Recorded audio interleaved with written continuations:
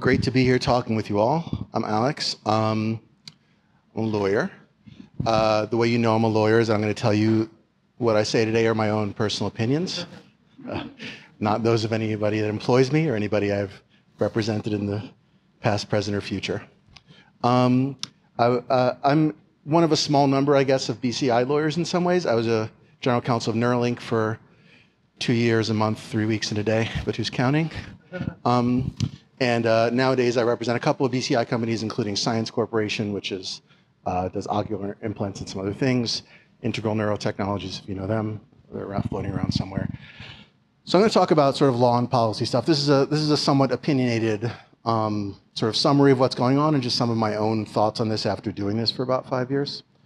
So I call this law the brain, sort of jokingly. There was um, there was a debate back in the 90s um, where a U.S. judge named Frank Easterbrook wrote an article called Cyber Law and the Law of the Horse. And then another lawyer named Larry Lessig sort of responded. And the debate had to do with what do you do when you need to make laws for a new technology, which sort of happens a lot because making law is often slow and it's often hard to change once you've, once you've made it. And so you want to do it carefully. It's also not very good at keeping up with the pace of technology, hopefully. So you want to do it carefully. Um, and the argument of law of the horse sort of goes like this. So I just sort of wanted to get this argument out to the community because I think it's still a very relevant one. And it's basically like this. You could pass a bunch of what the first time you see a horse, you might be like, we should pass a bunch of laws about horses. Like what vitamins can you put in them and how, how do you sell them and some regulation of horse shows. But there's not really a coherent body of like law of the horse. That is not a good way to do laws. What you should instead do is have laws in things that are like conceptually important and make sense and coherent. And then they apply to lots of stuff. They can apply to horses, they can apply to cars, they can apply to people on bicycles. If the speed limit is 50, it can sort of be technology agnostic. The, really, the real question is like, be safe and go the right speed.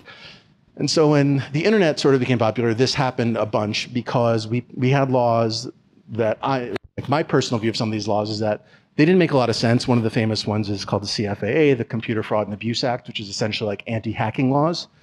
Because the idea is like, well, you already have a law against stealing. So like stealing with a computer doesn't necessarily need to be a new law. We, we had a panic. We had like a moral panic. People got scared. Um, they watched some movies about hackers, like with Matthew Broderick, and then they like passed some laws. And those laws um, sit around, um, you know, like a weapon on the mantelpiece uh, for potential misuse. And so, you know, eventually the law that Aaron Swartz was charged under was the CFAA, and one might say it was a bad idea to have passed this law in the first place, partly because it can be, it has, the more laws you have, the more potential for misapplication you have of them. So that's one side of it. And I, in some ways, think this is possibly true for BCI as well. It's like it's novel, it is very interesting. It triggers a visceral response in people that we have an unmediated set of connections with the brain, with the seat of consciousness, and it makes us feel all kinds of things. It makes lawmakers feel all kinds of things. It makes pop, populists feel all kinds of things. So it is very tempting to like get ahead of it and legislate and make some laws. Um, and, and, so part of my thought is like we should probably think about BCI in terms of like what laws do we actually need and what is going to foster development and what's going to allow this field to develop. Well. Very quickly, I have like three personal. By the way, there's another side to that story. I just didn't put it up because I agree with it less. But in fairness, there's a side that says like no, there's certain laws that when they have a, a type of emer- emergent property that you really do need to have special laws because there's ways that they interact with the laws of nature, the laws of physics, or they put us in a new position where because of scale or you know computational power or other things, we really do need a new law. It is it really is special. You know, it's not just like no murdering, also no murdering with a steak knife. It's you know, there's something about the modality or the instrumentality that's like unique to this technology. Okay. So this is just my opinion, right? Which is not a real thing. But in my experience, I've like come I've come across three types of areas that I think are going to be important legally with BCI and it's useful not to confuse them. Um, thing one is that there's a lot of like mundane, good old fashioned laws that are going to affect the way that we create and manufacture and sell, distribute, whatever BCI. Not sure they're going to be that interesting to non lawyers, but it's good to acknowledge them and understand how they might need to change. So I, I put in this category, for example, um, the fact that most semiconductor manufacturers don't like you implanting things in the human body. Um, that's not a law, that's like a contractual preference that exists right now in human history. But um, nevertheless, if we don't change that norm and that set of legal uh, uh, preferences that exist, we're going to have a hard time doing enough implants. So, so maybe that's mundane. There's also areas where intellectual property, again, this is not new under the sun, but um, if we have a Apple Samsung like patent war um, over very broad BCI patents, we're going to have a very different history of this field than one where we have thoughts about what a commons like might look like or a public domain or like what different um, monetization strategies and intellectual property um, norms are going to be useful for this field, um, seeing as how it's sort of hybrid at this moment, medical and potentially someday consumer. So that's thing one. Thing two is, I think these are the things that like get people excited where they're like, oh my God, we need a new law. And this often relates to privacy, right? It relates to like the uniqueness or the sui generisness of brain data, that it has a special unmediated access to the brain because of the way that technology works, um, private things like privacy. And it's always possible that there are unique things about any new technology, but I sort of diagnostically like to remember like often there are things that are sort of like intensifications or, or recapitulations of things that are not actually unique. And they might cast existing things in a new light, but they aren't necessarily new in a way that requires us to change course. So I, I sort of usually phrase this as like, maybe provocatively, as like maybe everybody worries too much about BCI and too little about their phones, right? Like a lot of the privacy harms that people are very scared about with, with this unmediated access to brain data and neural data is potentially sort of already existing if you have really good phone data and maybe really good facial recognition data.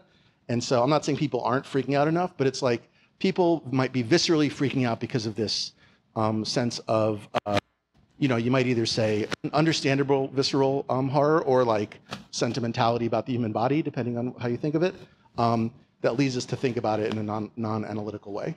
Um, um, on, the, on, the, other hand, it's good that people wake up and have a visceral feeling of like, wow, we're putting electrodes in the brain. There should be a law. But it might cause us to want other laws that don't just affect BCI. It might just cause us to rethink like what it is that data does in the first place. And of course, we should try not to panic. Panic is bad.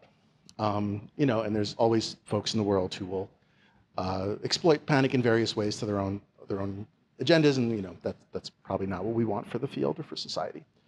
And then the third thing is like a thing that's very interesting to lawyers again, but possibly not to folks here, but may, maybe it is. And I call this, this is sort of like stuff in the law that is very tied to your mental state that then when you put a new uh, technology about cognition into the world, it sort of changes the way that that stuff looks. So for example, you know, obviously when you uh, have a trial and you do a, a, law thing and you have a trial and like somebody murdered somebody, one of the things you ask is like, what was their intent, right?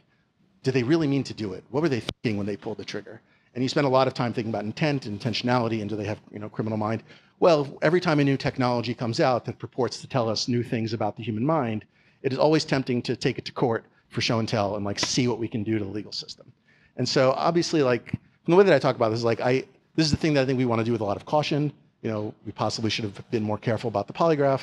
Um, we should be very careful about the way that we introduced BCI into the legal system and what it does when it um, purports to tell us about people's meaningful mental states. It's a very interesting, like philosophical field, but it's one of these areas where yes, I advocate for a lot of conservatism.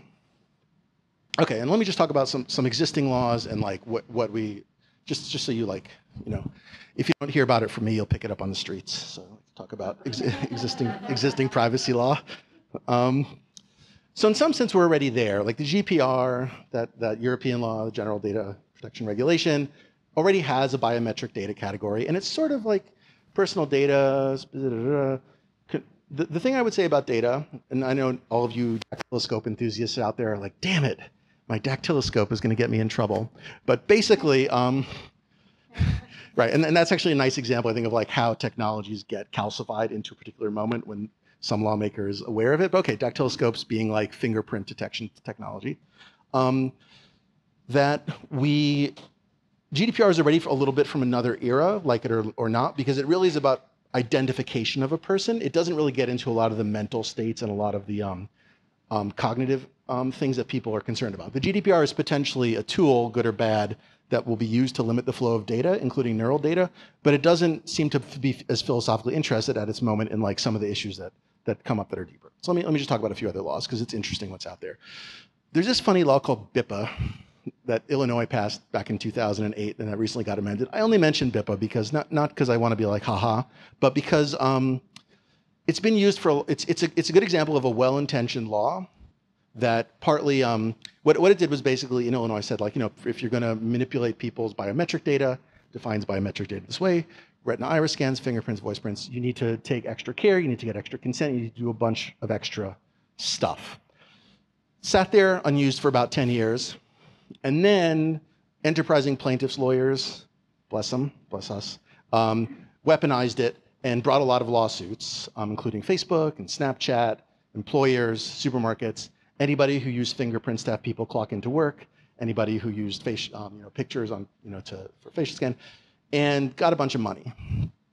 I think one of the lessons of BIPA was that like, the, it's a it's an it's an embodiment of this point I was talking about earlier. This is like when you pass a law and get super excited about a new technology, you potentially create a loaded weapon. And so that law about a month ago got amended because they were like, okay, this is actually bad, and companies are getting sued, and they didn't really do anything wrong, et cetera, et cetera. Obviously, if you're like an industry show like me, you're always going to say that. But nevertheless, like the, the idea was that this was not imbalance. Um, this created a big sledgehammer, and creating big sledgehammers is nice, but what you really want is like more precise sledgehammers, not bigger sledgehammers, because the amount of money that was at stake was really large. Um, so interesting case of a law, and I also raise it because, as I said, you pass a law, fine, good for you. This one took 15 or 16 years to get amended, so you're potentially stuck with it for a while. So, so it bears being careful. BIPA is just interesting. One little, one other little footnote on BIPA that I thought was interesting. Like, one of the class actions was against Snapchat um, for for biometric processing against the lenses feature. If you all remember that one, where you like use it and it make you look like something, um, you know, something not you, something cooler than you.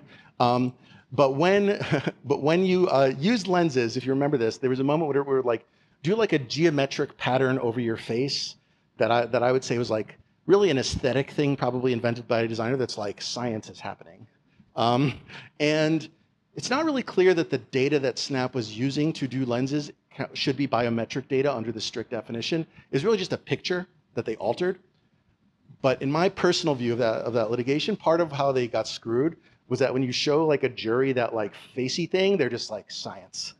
Um, and and I think that's sort of uh, like I joke about it, but I think it's an interesting it's an interesting lesson because I would I would state it like this. Sometimes when you aestheticize science or you deploy technology or science aesthetically, you wind up with odd and unintended consequences because people sort of take it literally. So in that case, like it was not biometric, but it had a sort of like computer enhanced biometrics vibe to it. And that vibe had real world, including legal consequences. So it's just, it's an interesting, I think, example from that, from that era. Settlement was, I think, 35 million bucks. Every Snapchat lens user got 13 bucks. So victory. Um, the Chilean, Chile has gotten ahead on this. The Chilean constitution actually added a provision to their constitution, uh, the Chilean government did, uh, on sort of neural data. Um, and I just sort of figured put it up because it's interesting. Um, and it's in some ways incredibly aspirationally idealistic and great. Scientific technological development will be at the service of people, will be carried out with respect for life and physical and mental integrity. Law will regulate the requirements, conditions, and restrictions for its use by people, must especially protect brain activity as well as the information from it. So it's like pretty pretty wild to have a constitution specifically addressing brain data at this point.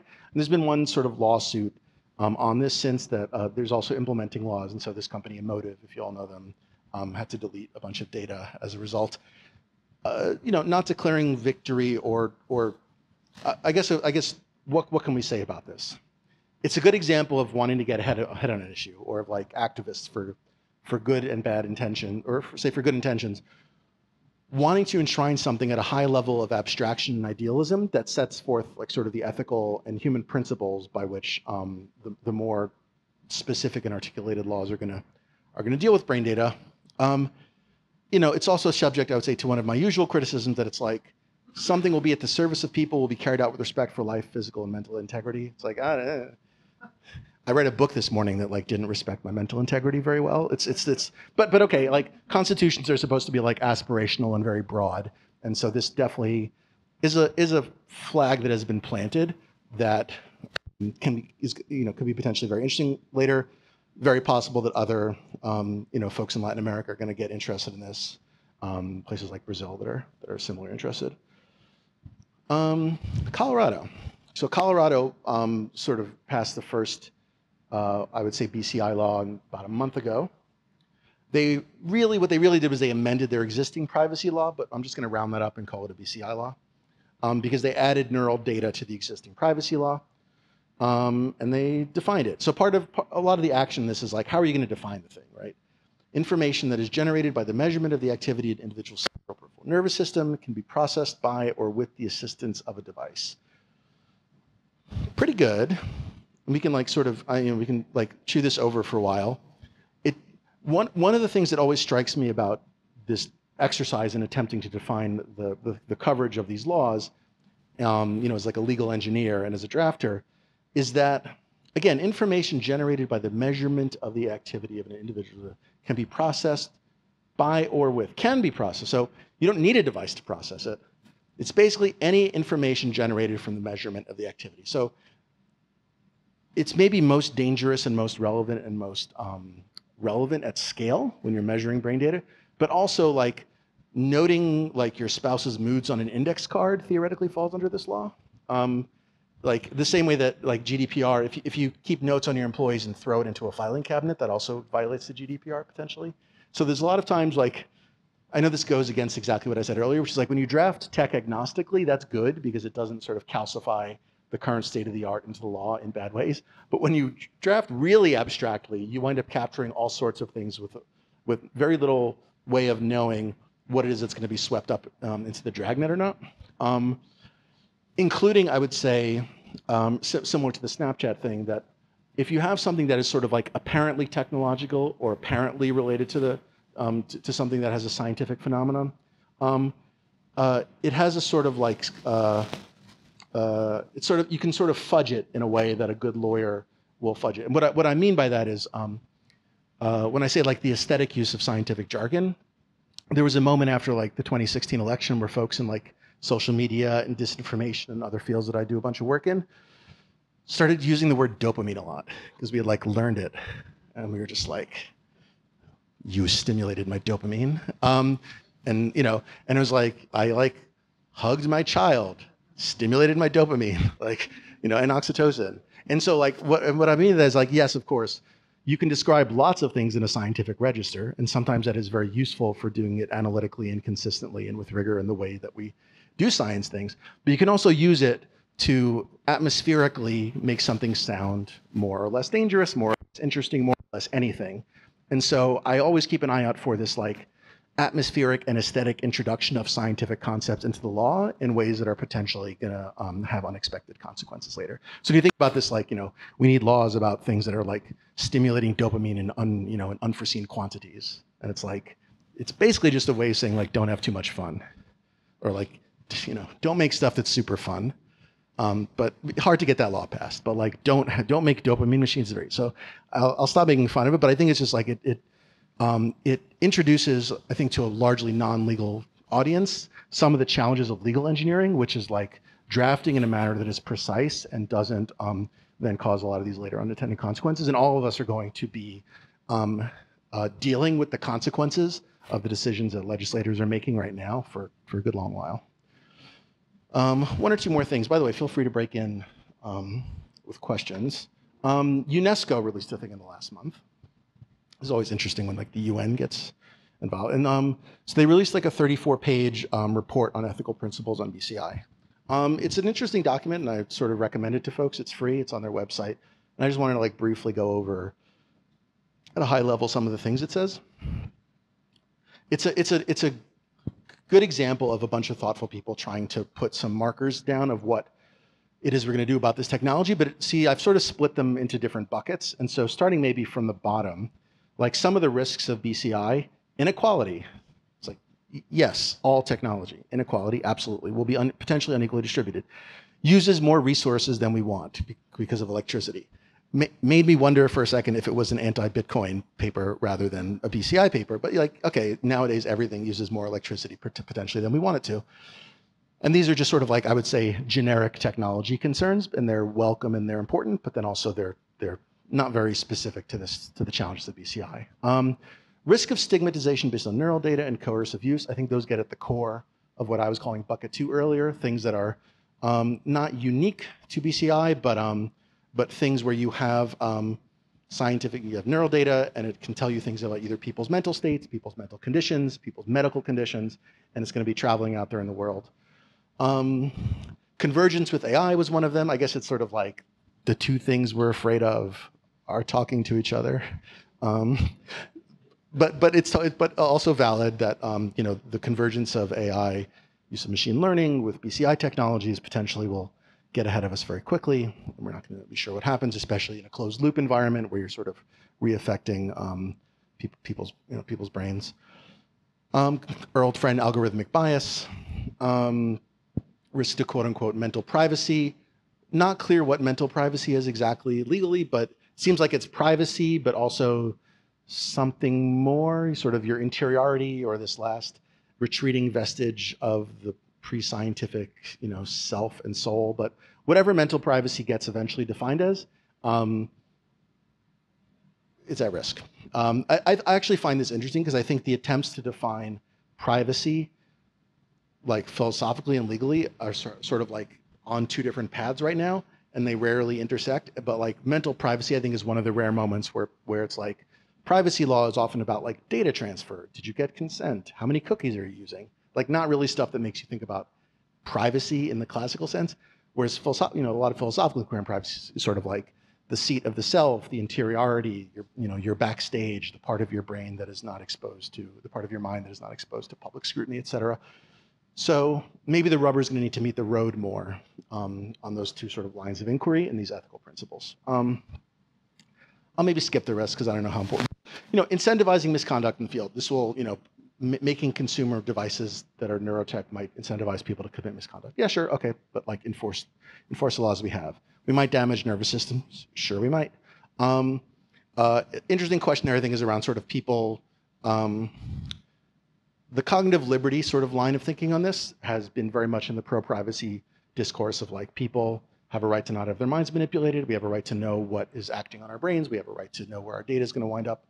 And that's, I think, very understandable and reasonable line of thinking. I think the line of uh, self-sovereignty that does not get underscored as much in that is the like, why can't I experiment on myself part? Um, and so I've just, I would just throw a flag down there that it's interesting that a lot of the cognitive liberty like literature out there, in my view, is very interested in pro-regulation, pro pro-state intervention, pro like pro, I would say like um, you know paternalism, as opposed to the more libertarian view of cognitive liberty, which is like let's find a way to do this that doesn't set um, hard, reg hard regulations prohibiting individuals from doing stuff. So unless that changes, I think we can sort of expect that road to go down. And I think there's a good reason for that. I'll get to in a minute. But um, cool. Okay, one or two more. okay. So now my last slide, and then I'll take some questions. So what have I learned from doing this for a couple years? So I think thing one is like don't panic. Um, generally a good rule, but um, the government works slowly. I think for a lot of folks in this room, that's an annoyance, understandably. But sometimes it's good when it works slowly. Um, when you're passing a new law, you should probably think about it a bunch. Um, a lot of folks right now are like, let's get ahead of this. I think a lot of folks who live through social media wars, I mean, legislators and regulators who live through the social media wars, who've lived through the CDA 230 wars over internet liability. Um, when, it came, when it comes to AI right now, and when it comes to BCI, my experience talking with folks in Washington is that they're like, not this time, Satan. Like, we are passing the laws first.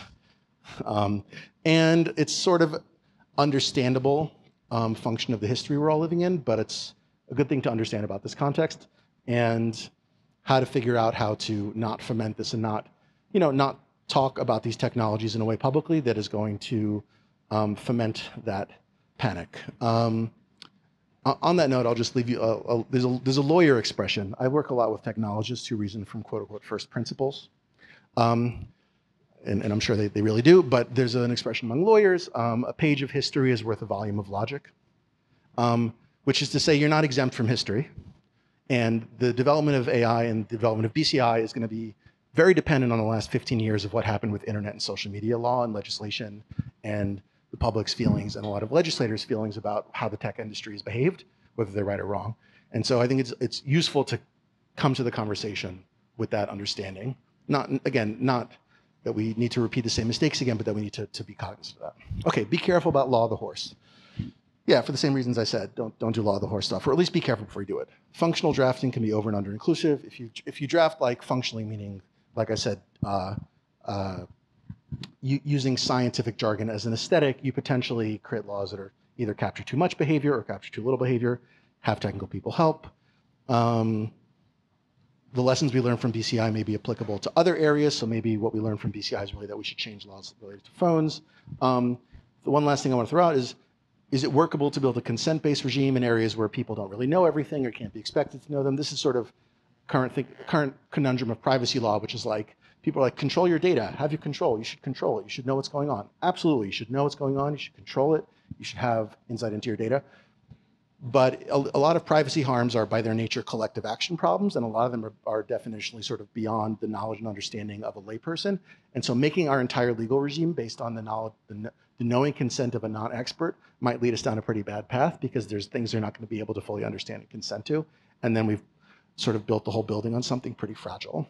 Um, and a whole other thing I wanted to talk about that I'll skip, except to say that I think we should revisit the concept of ownership, which is to say, when you had physical goods, you would own a book, you would own a CD, you could resell it. You, you, you did not have, people did not have the ability to brick a book from a central server, did not have the ability to brick your CD from a central server. Now, as we've been ushered towards streaming and other licensing regimes, where um, because of firmware updates and because of subscription models, thing, um, you know, our things that we own are, are licensed from a central controller. Um, probably BCI is a great chance to get back to this principle of like, once you have an implant in your head, maybe you should be allowed to fully own it and not just like license it and have it bricked remotely. I feel kind of strongly about this one. So happy to talk to folks more about it. And uh, yeah, I hope this is instructive.